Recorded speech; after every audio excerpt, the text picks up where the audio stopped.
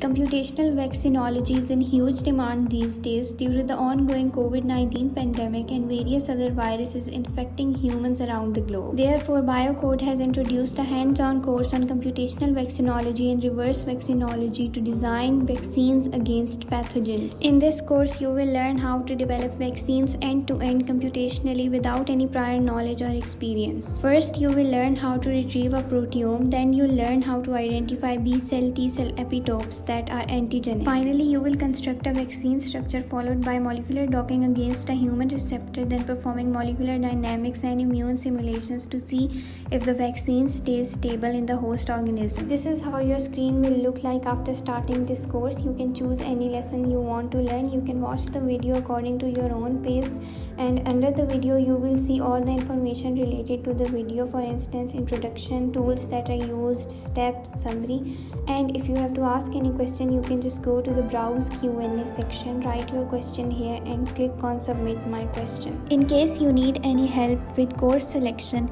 email us through support at biocode.org.uk